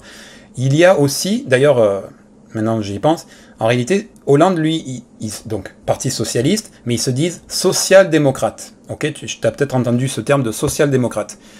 Euh, mais en réalité, encore une fois là, tous les gens qui se réclament de la social-démocratie, que ce soit en France ou que ce soit n'importe où ailleurs dans le monde, en Allemagne ou, en Europe ou, même, euh, ou, même probablement Sanders, je ne sais pas si tu vois qui c'est, mais c'est euh, le, le Sanders, c'était un il a été deux fois candidat à la, à, la présidence euh, à la présidence des États-Unis. Mais euh, donc c'est un mec de gauche, c'est un mec véritablement de gauche au sein des, démocrates. Donc aux États-Unis, la droite et la gauche, c'est euh, droite c'est républicain et gauche c'est démocrate. D'accord, c'est comme ça que si tu veux donc c'est quoi le truc de droite? Enfin les républicains, ben, d'ailleurs ils ont le même nom aujourd'hui. Les républicains d'un côté et le, et le PS de l'autre. Mais à l'intérieur de la gauche, il y a, pareil qu'en France, soi-disant le PS, qui en réalité pas de, gauche de mon point de vue, donc Hollande et tout, le, tout ce genre de bordel-là, et les, les, gens véritablement de gauche, donc euh, en, bref, on va dire France Insoumise, et si tu veux, Sanders, je, fais un peu des comparaisons un peu euh, hasardeuses, mais Sanders, si tu veux, c'est la France Insoumise euh, aux États-Unis. Donc, donc lui, lui, il se rapprocherait le plus de ce qu'on appelle en Europe, c'est plutôt une idée, c'est une idée qui est née en Europe, de social-démocratie. Euh, je sais plus pourquoi il, il, rajoute le truc de démocratie, parce que le, socialisme, c'est ce que je t'ai dit, c'est laisser le marché exister, mais avec une régulation, et l'État prend euh, euh, en, compte certains, certaines missions, produits, approvisionner en énergie, la santé et tout merdier. pourquoi ils, disent social-démocrate? Putain, là j'ai, là j'ai un trou. Mais tous les gens qui se disent social-démocrates, je pense y compris Ruffin, dont je me sens le plus proche euh, en ce moment, ils, confondent démocratie avec le système actuel d'élection d'un président. Euh, voilà, pour eux, l'élection, c'est que les gens s'expriment librement et ils font un choix libre de dire euh, on veut être dirigé par tel mec qui va, qui va poursuivre telle politique. Mais c'est pas ça, bordel de merde, la démocratie. Il faut arrêter avec ça. Donc, moi, je me considère véritablement social-démocrate parce que je dis que certaines choses doivent être prises en charge par l'État, euh, et que malgré tout, il doit, y avoir la possibilité pour les individus de poursuivre n'importe quelle aventure euh, économique dans un cadre, pareil que le socialisme, sauf que la différence que moi j'ai, c'est que qui met les limites de dire on peut plus faire travailler les enfants, on peut plus travailler plus de 10 heures par jour, ou je dis n'importe quoi. Hein. Euh, je ne suis pas forcément en faveur de cette idée-là, mais euh, je veux dire, voilà, y y a on peut plus polluer n'importe comment, on met des barrières, etc. Qui est-ce qui décide? C'est pas l'État. L'État, c'est une institution qui n'a pas de pouvoir décisionnel. Ce sont les gens. Et les gens qui décident directement, la loi maintenant c'est ça, et plus ça, et c'est comme ci, comme ça, ça c'est la démocratie. Si tu votes pour un mec qui va dire bon moi je dis que la loi elle est ici et là, t'es pas en démocratie, t'es dans un système, je sais pas moi, de représentation ou, tu l'appelles autrement ce système, mais il faut arrêter de dire que ça c'est la démocratie. Donc moi je suis véritablement ce que les gens appellent social-démocrate, sauf que les, gens qui appellent ça social-démocrate, ils sont pas réellement social-démocrates. Ils sont peut-être social, mais ils sont pas démocrates. Parce que moi je dis démocratie, ce sont les gens directement qui va dire euh, voilà, la loi c'est ça, et, on n'a pas besoin d'un président ou d'un député qui, qui, qui, fasse le boulot à notre place. Pardon, je me suis un peu emporté. Mhm. Euh, ouais, bah, en fait, je suis d'accord avec toi, mais je pense juste à un truc. euh, tu vois, nous sommes dans une société, on va dire, qui a déjà des règles. C'est-à-dire que nous sommes connectés à d'autres pays, euh, on fait du business, etc. Comment dire Est-ce que, est-ce que c'est possible On va dire, imaginons que. Euh, je, vais- je- je vais schématiser, je vais un peu peut-être raconter n'importe quoi, enfin, tu me corrigeras sûrement. Imaginons que Mélenchon arrive au pouvoir. Euh, donc, euh, il instaure tous, ces, tous ces trucs de gauche. Et finalement, imagine qu'en fait, ça marche pas parce que la France, elle est connectée déjà avec d'autres pays, en fait. Comment dire Euh, Elle a déjà une logique, c'est-à-dire que l'argent n'est pas créé par la France en elle-même, tu vois. C'est-à-dire qu'il y a d'autres euh, institutions qui créent l'argent, qui gèrent l'économie. Et donc, euh, Mélenchon, qu'en fait, qui veut. qui veut améliorer la, améliorer la France, en fait, finalement, ne va faire que l'appauvrir. je, je sais pas comment je, sais pas comment expliquer mais voilà que finalement en fait son, idée socialiste elle est bonne mais dans notre état actuel planétaire ça soit un fiasco parce que je sais pas le libéralisme est peut-être plus performant actuellement euh, euh, euh, dans, dans, dans, dans, la plupart des pays actuellement pour ça et que Mélenchon qui arrive et qui instaure un socialiste en fait finalement ça va faire que que enfin je me répète mais ça va faire ça va baisser en fait la France le niveau de la France Ok. Alors, juste ane- anecdotiquement, moi je pense que Mélenchon, il a, il a été très, très important, mais je pense qu'il il faut que la gauche dépasse l'ère Mélenchon. Et de mon point de vue, Mélenchon, il a dit, et il doit faire ce qu'il a dit, il doit plus se représenter. Donc, euh, tu dis Mélenchon pour simplifier euh, machin truc, mais moi je, voterai plus, euh, je voterai plus Mélenchon. Je veux dire, si c'est lui qui représente la France Insoumise la prochaine fois, je serais bien, emmerdé, probablement que je voterai pour lui. Mais moi, je considère qu'il doit laisser sa place maintenant. Il, a fait le boulot et voilà. Donc, par- pour, est-ce que, est-ce que si on applique le programme de la France Insoumise, là, au lieu d'améliorer, la France se dégrade Évidemment, euh, moi j'ai une idée, mais euh, il y a des gens qui ont une idée tout à fait euh, contraire. Donc, moi je te donne mon point de vue, mais à toi aussi d'aller écouter les gens qui sont critiques de ça. Si tu veux, le programme n'est pas parfait, et de toute façon, on peut considérer que rien n'est parfait. Donc voilà, s'il se rapproche le plus de, ce qui est mieux, tant mieux. Mais il y aura de la part de- des capitalistes, pour, euh, pour utiliser un, terme simplifié, de la résistance si, euh, peu, importe le candidat de la France insoumise, arrivait au pouvoir. Parce que il y a un antagonisme, il y a, une- un combat entre les capitalistes et ceux qui veulent se débarrasser du, capitalisme, tu vois. Donc ils vont pas se laisser faire, les mecs. Donc oui, effectivement, ils vont faire un peu comme la Grèce, euh, parce que par exemple l'Union européenne, elle est tout à fait capitaliste. Donc elle a, comme c'est une, une, euh, institution supranationale qui est au-dessus, entre guillemets, de, de la nation, eh bien elle va jouer là-dessus pour essayer de, de faire chier, de, de, contrecarrer la mise en place du, programme de, la France insoumise. Et il y aura certainement des, conséquences. Il y en a eu sur la Grèce, même si la France et la Grèce, c'est pas la c'est pas du tout la même situation. Mais voilà, la Grèce, elle a été pliée en deux par, par l'Union européenne et, et les efforts de, voter pour Tsipras et, un changement radical de, politique, véritablement de gauche, eh ben, il a été euh, totalement anéanti. Et au contraire, euh, effectivement, c'est ce que tu dis, euh, la- la situation des, Grecs, du, grec moyen, a considérablement chuté. Donc euh, ce, scénario, il, a existé, il existe. Sauf que la France, je répète, elle n'a pas, pas la même condition que la, Grèce. Il y a plusieurs choses à faire. Je ne sais pas à quel point les, gens de la France insoumise sont des gens très intelligents, etc., etc. Mais à quel point, et peut-être que je vais passer pour le mec qui, qui croit savoir mieux que les autres, mais à quel point ils ont compris tous les enjeux. Je pense quand même, je- j'espère quand même qu'ils sont beaucoup plus intelligents, enfin évidemment qu'ils sont plus intelligents et plus instruits, et, eux ils sont dans la machine, moi je suis complètement extérieur à ça, mais est-ce qu'ils ont compris qu'il faut vérité l'un des, enjeux principaux, c'est de nationaliser la, Banque de France et de et de- d'envisager très très sérieusement de, créer une, monnaie parallèle par rapport à l'euro, ou en tout cas de, Ils en parlent ou pas de ça ben, oui, dans, dans le programme de la, dans le programme de la France Insoumise, ils disent, il y a le chapitre sur la, la monnaie, ils disent renationalisation, parce que la, la, la Banque de France était nationale, euh, une institution nationale à une époque, et puis elle a été... euh, alors je sais pas si aujourd'hui elle est complètement dénationalisée, enfin je sais pas comment on dit, euh, libéralisée, privatisée, ou elle, si elle est semi, il me semble qu'elle est semi, tu vois, elle est entre euh, semi, euh, semi-public, semi-privé. Mhm. Mais il faut totalement la, la, la renationaliser, quoi.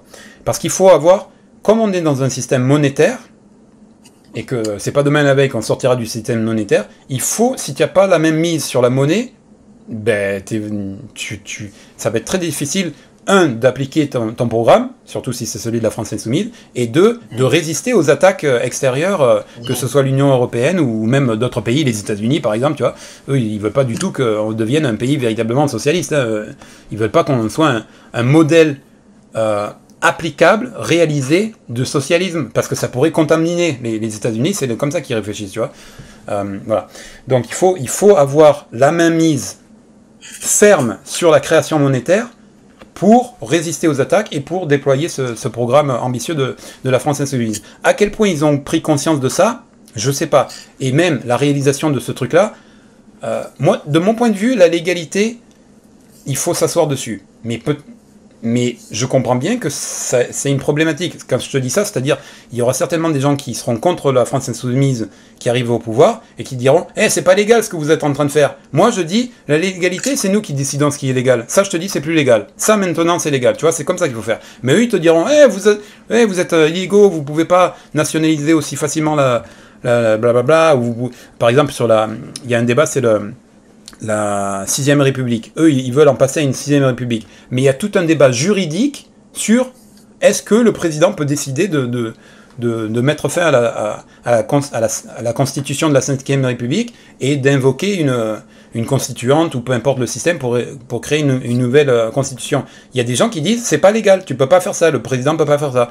Donc il y a un débat là-dessus euh, de juristes, etc. Moi, ce que je dis, c'est que à partir du moment où le le pouvoir est légitimé par l'élection, même si je te dis que je suis démocrate et donc euh, l'élection c'est pas un bon système pour moi, mais mettons-nous dans ce système, à partir du moment où il y a la, légitimité du vote, si le vote est tendancieux, c'est-à-dire un peu comme ces dernières années, euh, ouais Macron il passe, mais bon euh, il est ric-rac par un par un autre, ok il y a un débat, mais s'il y a euh, un- une élection confortable, non j'ai le peuple français m'a élu. Dans mon programme, il y a la, con- la convocation d'une constituante pour réécrire la constitution. Donc, je suis légitime à, à le faire. Et s'il faut que je, que je, parce que là, c'est un pouvoir légal euh, du, du président. S'il faut que je convoque un référendum dont la question c'est êtes-vous d'accord pour une révision de la constitution au travers d'une constituante? Oui, non et qu'il y a un oui, et ben voilà, non seulement j'ai été, j'ai la légitimité du vote, mais en plus j'ai la légitimité du, du référendum qui dit oui, tu vois.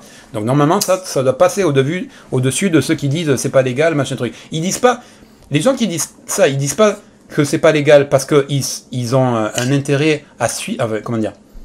C'est pas parce que leur, leur, leur logique c'est de dire attention, il faut respecter la loi. C'est pas ça. C'est parce qu'ils disent putain non, euh, c'est nous qui avons mis la loi en place parce que justement on veut éviter que des gens bien intentionnés euh, changent le système. Tu vois, c'est les bourgeois qui ont mis en place le système. Donc tout ce qui est légal, en réalité, c'est tout ce qui sert le, le système euh, bourgeois. C'est- comme ça qu'il faut comprendre. Le français moyen, il va se dire, ce qui est légal, c'est légitime. Non, ce qui est légal, en réalité, c'est- ça sert celui qui a mis en place le système légal. Tu vois? Je dis pas que tout ce qui est légal est, à foutre en l'air. Évidemment que c'est que c'est bien que ça soit illégal de tuer des gens ou de voler des gens ou de violer. Évidemment, évidemment, il y, a, il y a tout un tas de trucs à garder. Mais il faut bien comprendre, se mettre en tête que ce qui est légal, ce n'est pas est nécessairement égal à éthique ou juste. Tu vois, il y a une il y a une différence à faire entre ce qui est légal et ce qui est juste.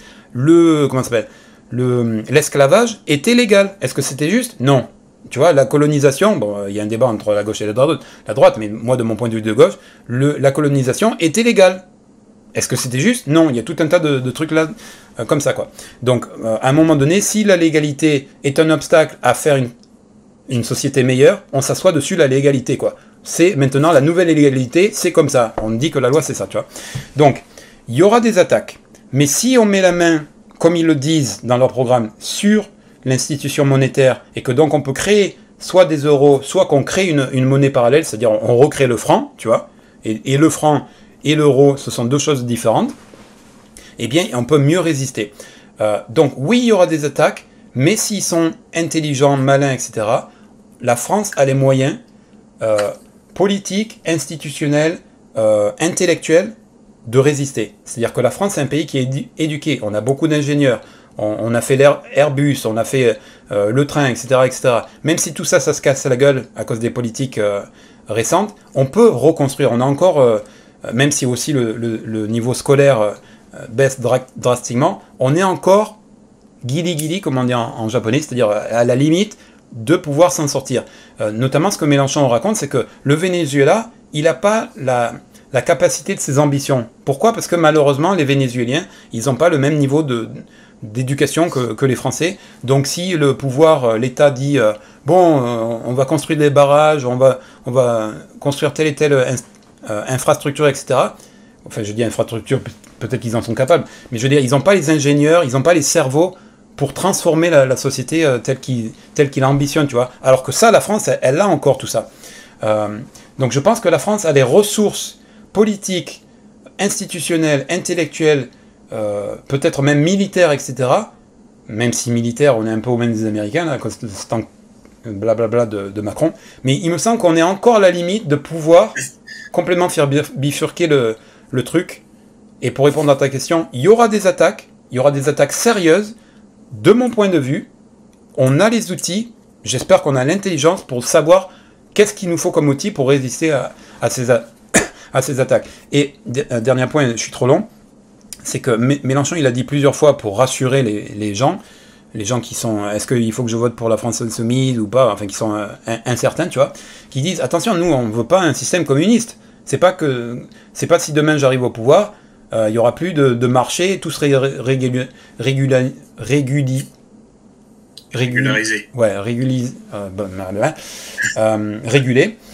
non, non, on veut toujours un marché blabla. Sauf qu'il y aura il y aura des règles à, respecter plus strictes que les, que les règles d'aujourd'hui. Euh, c'est pas euh, on, exporte comme on veut au Maroc parce que c'est moins cher de faire fabriquer au Maroc en France. Non, non, il faut respecter quand même les travailleurs français. Euh, ben, il ne faut pas les mettre en compétition pas au même niveau, tu vois. Avec un travailleur chinois et un travailleur français, ben nous, le, travailleur français, il a la, sécurité sociale, donc ça coûte plus cher. Il a la retraite, donc ça coûte plus cher qu'un qu'un travailleur chinois qui n'a a pas toutes ces choses. Je ne suis pas certain qu'ils n'ont ont pas. Mais en tout cas, voilà, ça coûte moins cher de faire le fabriquer en Chine qu'en France.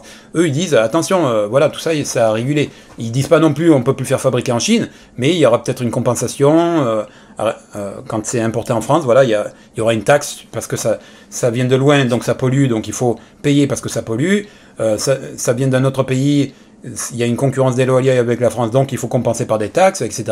Ils font ça pas pour faire chier, ils font ça pour, protéger les travailleurs, pour protéger l'environnement et pour inciter les, euh, meneurs de projets, les, capitalistes, enfin ceux qui font des entreprises, à plutôt faire fabriquer en France ou en tout cas le, plus proche possible. Tu vois ce que je veux dire? Mm-hmm. Bon ouais, je suivi attentivement. Euh, euh, je pense que on a fait le tour de la question. Alors pour, enfin pour, pour Mélenchon, je sais pas. Voilà, je, voilà, sais pas si ça va le faire. Dans, la théorie, c'est vrai que ça peut être joli, mais après, il y a plein de questions, euh, plein de trucs à voir. Mais bon, je, on va dire, je suis pas assez calé dans ces genres de sujets pour en parler. Mais ouais, euh, moi, je demande à voir, quoi. Euh, du coup, si tu es d'accord, si tu veux changer de sujet, ok. ça fait déjà une heure. Ok, allez, nickel. réalité virtuelle, ouais. Ouais.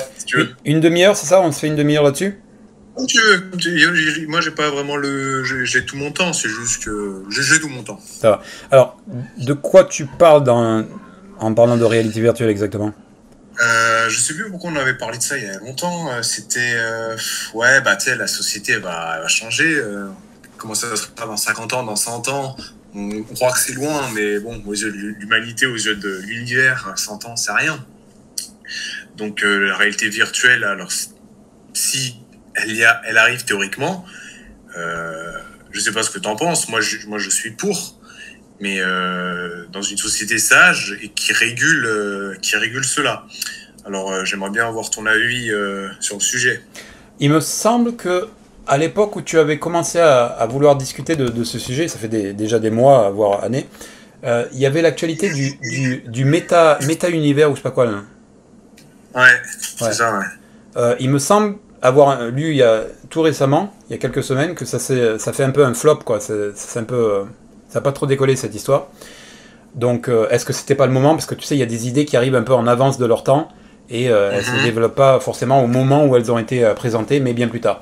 Donc, ben, je, pense que toi et moi, et en réalité la, majeure partie d'entre nous, on est d'accord sur le fait que ben, si c'est une nouvelle aventure, pourquoi pas, mais évidemment, il faut, avec, euh, il faut de la régulation pour pas que ça devienne euh, n'importe quoi.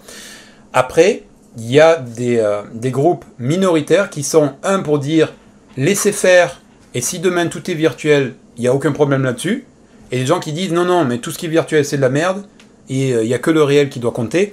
Donc ça, ce sont des positions extrêmes qui sont euh, minoritaires. C'est pas parce qu'elles sont minoritaires qu'elles ne peuvent pas influer sur la société, mais à mon avis, elles sont euh, minoritaires. Et le plus gros, c'est les gens comme toi et moi qui disent, bah, bah ouais, pourquoi pas essayer la, réalité virtuelle, ça peut être une nouvelle aventure, et ça peut avoir des, des, bénéfices dans la société, mais évidemment, il faut que ça soit quand même régulé pour pas que pour pas qu'il y, ait des travers. Donc comme c'est pas encore une réalité qui existe, je ne suis pas en capacité de, de savoir quels pourraient être les travers, tu vois, d'avoir de, déjà une idée de ce que pourraient être les travers. Mais ma position, c'est de dire, ben, on déroule le truc, et, à fois, au fur et à mesure qu'on voit, ah merde, là il y a un problème, eh bien on le régule quoi. Réguler, ça veut pas dire, euh, ça veut pas dire euh, on met fin à, tout. C'est-à-dire, ben, on essaye de trouver où est-ce qu'est est, est la limite, on la pose là, et puis on voit comment ça, est-ce que la limite qu'on a posée, elle, elle, donne satisfaction, ou est-ce qu'elle est trop sévère ou pas assez sévère Eh bien, on se donne le temps dans quelques dans quelques temps de dire ah ben finalement c'était pas assez sévère ou c'était trop sévère et hop on remet la, barrière ailleurs. C'est pour ça que je reviens sur ma, mon gros dada de, démocratie. Ça ce sont les gens, toi et moi, qui, doit, qui devons dire euh, on met la barrière là. Et puis euh, au bout d'un moment on se dit putain non en fait euh, non c'est trop sévère ou c'est pas assez sévère. Maintenant on met la barrière là. Ah ben non en fait c'est encore pas bon. Tu vois et, on cherche le, le, bon truc. Mais ce sont les gens qui doivent faire qui doivent faire ça tu vois. Mhm. Voilà. Ça, c'est sur la, réalité virtuelle. Mais évidemment que la réalité virtuelle, ça doit, certainement dans le, dans le divertissement, que ce soit les jeux vidéo, que ce soit les films, mais peut-être la musique, que sais-je, oui, il y a certainement euh, tout un tas de trucs, euh, et même peut-être l'art, et même peut-être l'éducation. Tu vois, on peut imaginer qu'il y a des endroits où il n'y a pas de, de, il a pas d'infrastructure physique, il n'y a pas d'école, euh, pour accueillir les enfants et euh, il y a des distances grandes euh, pour que les enfants arrivent jusqu'à l'école, eh bien la réalité virtuelle va faire que au lieu de construire une école physique ou de construire les routes qui mènent à l'école physique, eh bien on va construire des appareils et on va les amener directement dans les, dans les, dans les huttes ou dans les maisons ou dans les cases ou que sais-je, et l'enfant, eh bien, il va se retrouver au milieu de ses, de ses collègues de classe de façon virtuelle, même si quand même, je pense quand même que le physique c'est mieux, mais peut-être que ça peut répondre tu vois, à certaines problématiques, là-dessus. Quel est ton avis? Bah écoute, je suis agréablement surpris.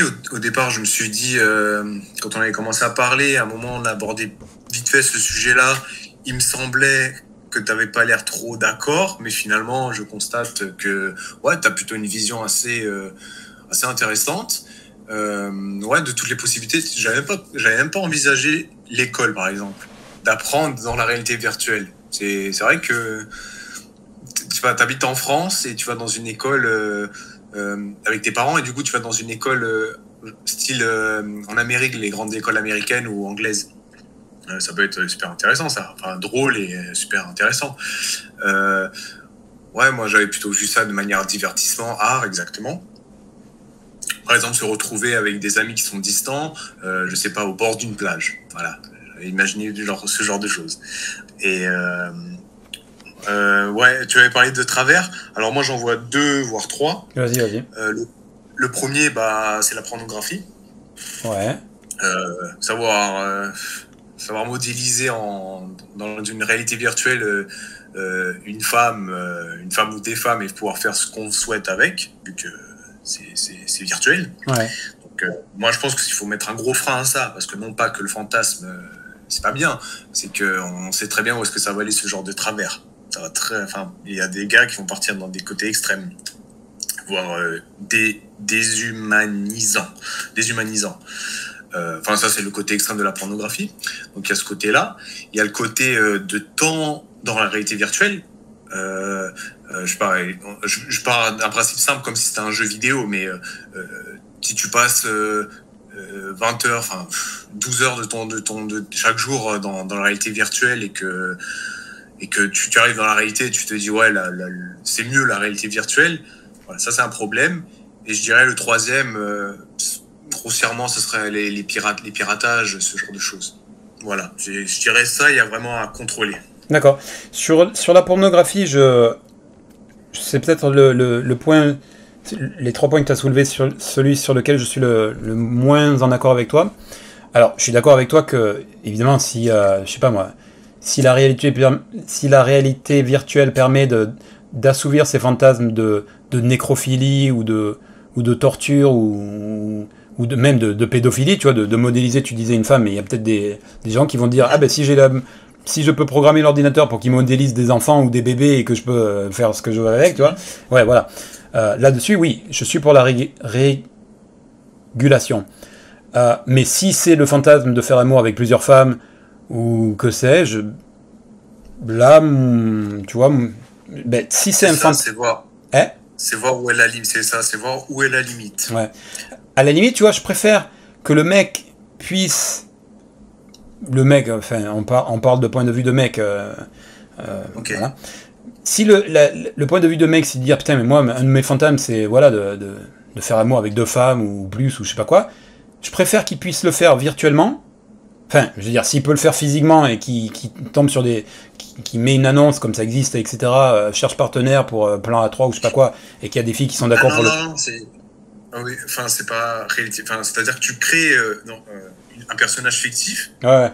Par exemple, imaginons, tu, tu crées une star. Ouais, ouais. Tu, tu crées, je sais pas, une star, un fantasme d'une star. Ouais, ouais. Tu crées ou tu pirates ou je sais pas comment, tu crées un hologramme, enfin un hologramme dans la réalité virtuelle, tu crées cette actrice. Ouais, ouais. Que tu peux faire ce que tu veux avec, par exemple. Voilà, c'est ah ce travers-là que je trouvais. Ah ouais, ouais, attends, là tu, tu viens de me, me, faire penser à un truc, c'est que peut-être qu'un sujet dont il faudra débattre, moi j'ai mon avis, mais comme je, comme je suis démocrate, c'est à, la collectivité, euh, je donnerai mon avis, mais c'est à, nous tous de décider, c'est est-ce que dans la réalité virtuelle, on autorise les gens, si, si la réalité virtuelle permet de, créer euh, un avatar de, de, toute pièce, et que le mec il a le fantasme de, de je, je, vais dire vraiment n'importe quoi. C'est qui qui est connu en ce moment? Bon, je sais pas pourquoi c'est celle qui me vient. J'ai vu sa photo il y a pas longtemps, mais euh, Monica Bellucci, enfin une actrice, tu vois, quelconque, et que l'avatar te permet de recréer Monica Bellucci pour pouvoir faire l'amour avec, tu vois. Peut-être qu'il y a quand même un droit, une espèce de droit à l'image ou je sais pas quoi. On dit euh, non non, tu peux créer un avatar qui n'existe pas, mais tu peux pas reproduire une personne. Si, si tu dis putain la voisine elle me fait trop bander tout ça, je vais, euh, avec sa photo sur euh, chopée sur Facebook, euh, je peux recréer sa, son image pour pouvoir pour pouvoir faire des choses avec virtuellement. Tu vois, peut-être que là, il y a des questions qui, qui se... Scrabble. Ouais, voilà. tu vois, je sais pas.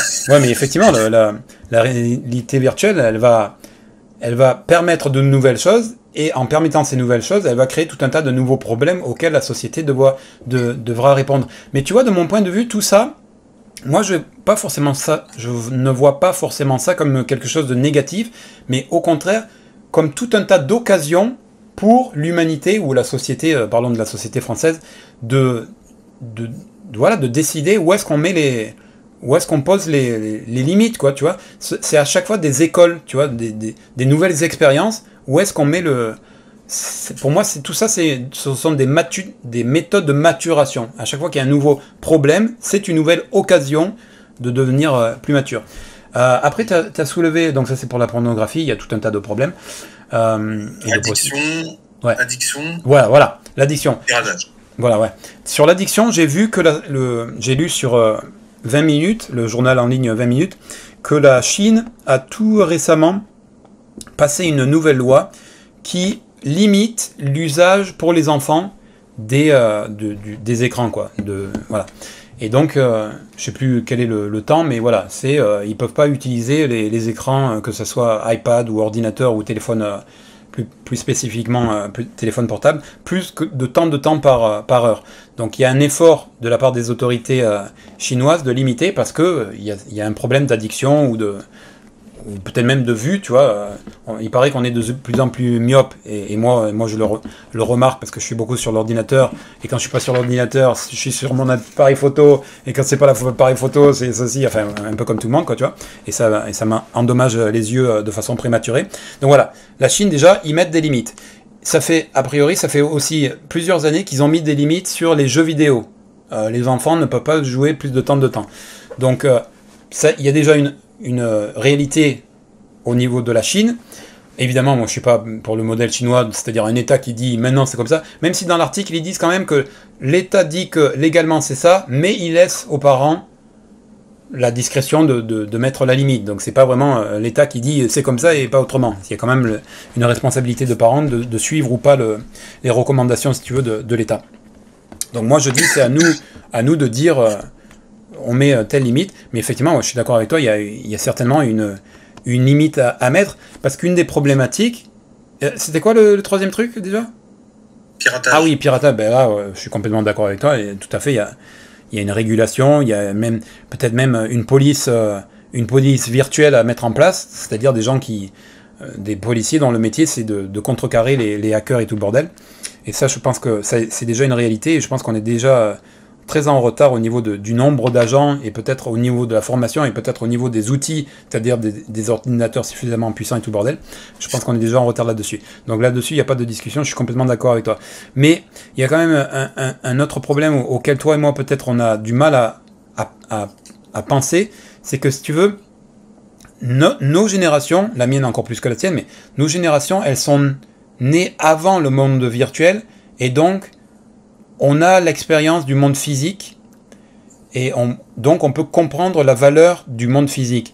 Et peut-être que les générations suivantes qui naîtront dans le monde virtuel, enfin, qui naîtront dans un monde dans lequel le monde virtuel sera déjà très installé, eh bien, elles auront beaucoup plus de mal à comprendre la, valeur du monde physique et elles seront beaucoup plus enclines à passer plus de temps dans le monde virtuel.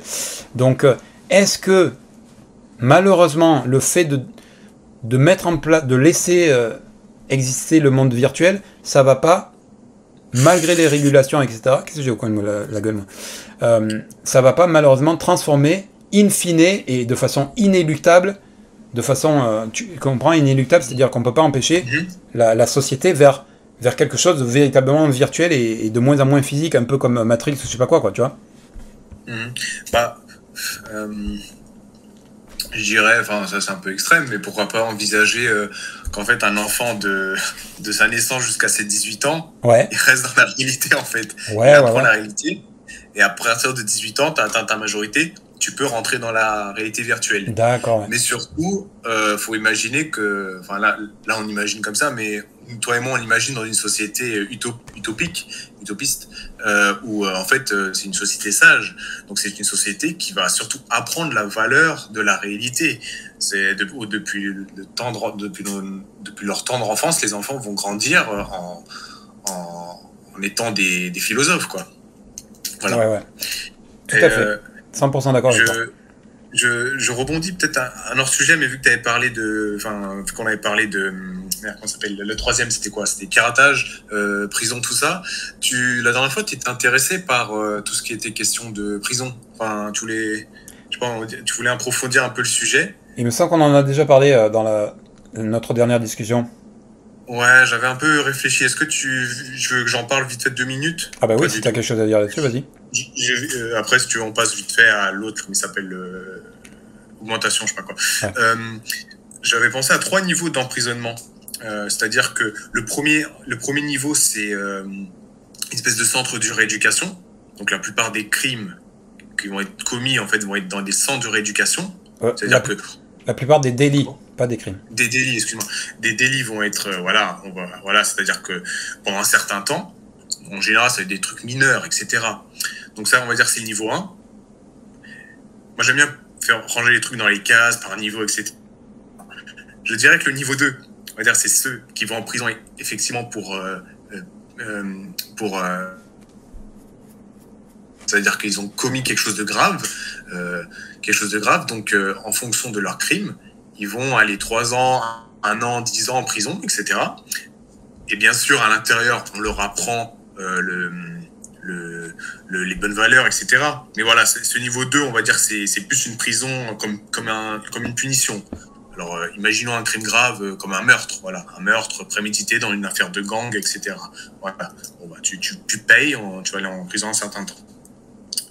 Et après le niveau 3, c'est là où on n'est pas d'accord, toi et moi, on en a déjà parlé. Euh, c'est-à-dire c'est des crimes beaucoup trop graves pour qu'ils puissent être pardonnés. Voilà, je referme la parenthèse. Si tu veux, on passe à l'autre sujet, si tu veux compléter. Oui, mais c'est quoi le troisième niveau alors? C'est la peine de mort? Ouais, c'est ça. Ah, moi, je suis pas. Quelqu'un qui a tué, torturé un enfant. Alors, peine de mort, je suis honnête, c'est beaucoup trop soft pour quelqu'un qui a torturé quelqu'un. Je voilà, Pour moi, il devrait aller partir dans les trucs médicaux, faire des expériences sur lui, euh, ce que tu veux, tu vois. Que son... Voilà, non, mais quand quelqu'un a osé torturer quelqu'un, c'est que juste simplement le tuer, c'est beaucoup trop facile. Mais voilà, niveau 3, peine de mort, on n'en parle plus. Mais là, là, on a déjà discuté, on n'était pas d'accord à l'époque. Euh, non, je ne sais pas si on n'était pas d'accord, parce que moi, je suis pas nécessairement opposé à la, à la peine de mort. C'est la philosophie qu'il y a derrière la peine de mort. Mais bon, on, en a, on a déjà discuté. C'est pas que je suis pour la peine de mort, hein, mais je suis je suis pour qu'il y ait un débat sur, sur la peine de mort. Euh, ok. Et le, dernier, euh, très rapidement, parce que je viens de me contrôler, là, je suis en. Je suis en. Je te montre. Ah merde, putain. Ouais, il est tard chez toi, non? Attends, mais je te montre là. Je suis en hypoglycémie, tu vois, quand c'est rouge, c'est pas bon. Il faut que j'aille bouffer ah. parce que je suis en. Je commence à être euh, pas bien. mais Ouais, pour finir sur ce sujet, parce qu'on n'arrête pas de le, reculer, l'intelligence artificielle, je pense que c'était ça. Et là, du coup, c'est ah tout à fait l'actualité, quoi, tu vois, avec les chats euh, GPT et tout le bordel. Euh, mais c'est pareil que la, de mon point de vue, c'est pareil que la réalité virtuelle, c'est-à-dire, c'est un outil, comme la réalité virtuelle peut être un outil, comme telle et telle chose peuvent être des outils.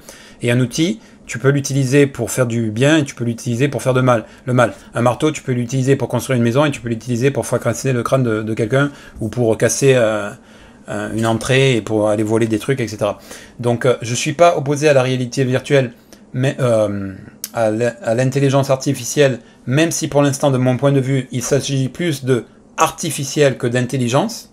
On dit intelligence artificielle, mais en réalité, c'est simplement des euh, programmes qui sont capables de faire ce que l'homme les a programmés pour faire, tu vois, mais au-delà de ce que l'homme les a programmés pour faire, ils sont pas capables, tu vois, il y a une limite. Donc c'est plutôt artificiel qu'intelligence, mais il y a quand même un développement qui fait qu'à un moment donné, ce sera peut-être certainement de l'intelligence artificielle, artificielle parce que c'est fabriqué par l'homme, mais véritablement intelligence. Tandis que pour l'instant, ce sont des software, des, euh, des programmes qui sont de plus en plus capables, mais qui sont toujours capables de faire que ce que l'homme les, les a programmés pour faire. Donc je suis pour qu'il y ait un développement, et d'ailleurs de toute façon ça existe partout ailleurs, et la France doit se doter de façon très officielle, de façon étatique, même si le marché français peut aussi et, doit, et, et je l'incite évidemment à, à, investi, à investir le, domaine, mais il doit y avoir un effort par le CNRS, par euh, toutes les institutions euh,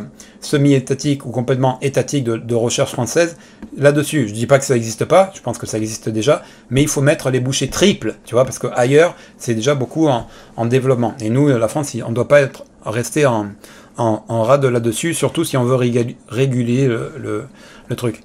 Et euh, voilà, c'est tout ce que j'aurais à dire euh, là-dessus. Bah écoute, ouais, je pense qu'on est d'accord. Euh, peut-être juste peut-être rajouter, mais ça c'est philosophique. Ce que tu appelles l'intelligence, voilà, tout est à remettre en perspective. En fait, on, dit que en fait, ce qu'on appelle l'IA n'est pas nous, donc elle n'est pas considérée comme, on va dire, intelligente ou vivante parce que euh, on compare avec nos critères, euh, c'est-à-dire que nous humains, euh, voilà, on, a peur, on est, heureux, etc. Mais voilà, moi je pense que tout ça, ce sont des, enfin, c'est-à-dire que nous, je pense que la différence entre l'intelligence et difficile, il y en a plusieurs, mais je dirais que c'est le besoin de survivre. C'est-à-dire que nous, humains, on a depuis des, on a eu l'évolution, qui, a fait ancrer en nous ce besoin de, survivre. Et euh, si on peut mettre ça, par exemple, dans une, simulation, enfin dans une intelligence artificielle, le besoin de survivre, simuler par exemple aussi des émotions, donc euh, avec des, molécules, enfin je sais pas comment dire, euh, sur, un robot, etc. Imaginons qu'on crée un robot. Le robot a, a, a, c'est qui, qui, peut mourir, donc qui doit éviter de mourir. On lui met des, des hormones euh, qui lui font ressentir la peur, le stress, etc. Euh, bien sûr, même si tout ça c'est artificiel, le robot réagira comme un être humain en fait. Et, euh, du coup, c'est un peu, c'est un peu brouillon comme j'explique, mais en fait voilà, c'est qu'on on, dit que l'intelligence artificielle n'est pas intelligente parce qu'elle ne nous ressemble pas. Bah ouais, c'est quelque chose de totalement différent. Déjà, les animaux entre eux, ils se ressemblent pas. Mais alors, un truc qui est créé non organique, c'est totalement différent. Mais voilà, un jour peut-être, je sais pas, peut-être dans mille ans, qu'est-ce que j'en sais, se posera un jour la question est-ce que euh, l'IA est vivante? Hmm. Voilà. Qu'est-ce que la vie, etc. Ouais. Alors, ouais. Alors, la vie, c'est biologique. D'accord? Euh, Donc, il faut avoir des cellules, il faut, euh, il faut avoir un système nerveux et. voilà. Donc, Hmm. l'intelligence artificielle, peut-être que dans très longtemps, elle pourra être vivante. C'est-à-dire avoir des, cellules, un- corps, euh, un corps biologique, etc. Pour l'instant, on en est très loin. Mais euh, je pense que le débat, il est plutôt de savoir est-ce que l'intelligence artificielle a une conscience Et là, elle peut avoir une conscience sans avoir un corps physique, euh, ou, pas. Pour l'instant, l'intelligence artificielle, elle, n'a pas de, conscience. Tu vois, elle n'est pas consciente d'elle-même, etc. Elle ne peut pas produire de la pensée par... Enfin, de la pensée. Ah, ça devient compliqué, mais voilà. En tout cas, elle n'a pas de conscience pour l'instant. Mais je pense qu'il est possible qu'avec son développement, à un moment donné, si tu veux, à un moment donné, l'homme, par, par son ingéniosité et par euh, le, développement de, de l'intelligence artificielle, de, de- des- des programmes et de, du hardware, c'est-à-dire des, des circuits et des, et des chips, comme tu dis, des, des, des transistors et tout le bordel, tu vois, il va permettre, il va poser les bases de la de ce qui va permettre à la conscience de ah putain là on est en train de rentrer dans un autre truc qui va nous prendre des, des plombes Non, mais non. il va, il va permettre à la conscience de venir, de venir euh, s'incarner, Ouais. même, même si incarner, ça, étymologiquement, ça veut dire rentrer dans la chair. Donc, euh, comme j'ai dit, il y a pas de, c'est pas, c'est pas physique. Enfin, c'est pas physique, c'est pas biologique plutôt. Euh, mais pour l'instant, on n'en est pas là. L'intelligence artificielle, pour l'instant, elle n'est pas capable de elle n'a pas de conscience. Mais je, moi, je prédis, enfin, je prédis, je prédis pas, je, je, je, j'admets, enfin, je dis que, J'affirme. hein? J'affirme. Ouais, voilà, c'est ça. J'affirme, c'est ça, c'est le, le terme que je cherchais. J'affirme que l'homme est capable de créer les sous-bassements qui vont permettre à la conscience de, de venir euh, s'intégrer, euh, s'incarner, enfin s'incarner, euh, c'est pas le bon terme, dans la, dans la truc. Donc il faut simplement, est-ce qu'on est d'accord avec ça? Parce que ça va être, euh, ça va être possible. Et est-ce que éthiquement, est-ce que la société est d'accord avec ça? Ou est-ce qu'elle doit prévenir ça? Je pense que prévenir, ça va être compliqué. Donc je pense qu'il vaut plutôt euh, prévoir qu'elle va arriver et qu'est-ce que ça qu'est-ce que ça va vouloir dire et tout le bordel. Ouais, si tu veux bien, je te laisse rajouter le dernier mot à la fin si tu as un truc à dire, mais moi j'arrête là parce que je suis vraiment en hypo là, il faut que j'aille bouffer, je suis... euh, Ok, pas ok. Bah écoute, bah merci en tout cas, euh, chouette discussion. Euh, ouais, on se recapte un de ces quatre. Euh, je vais juste peut-être t'envoyer en message une vidéo justement qui parle du vivant. Ça devrait t'intéresser vu qu'avec tout ce que tu viens de dire. Ok, Et, et puis voilà, écoute, hein, je sais pas quand on se reviendra, mais voilà, au plaisir. ok. Ça. Allez, Allez, j'arrête l'enregistrement. Salut, ciao. yes, ciao, ciao.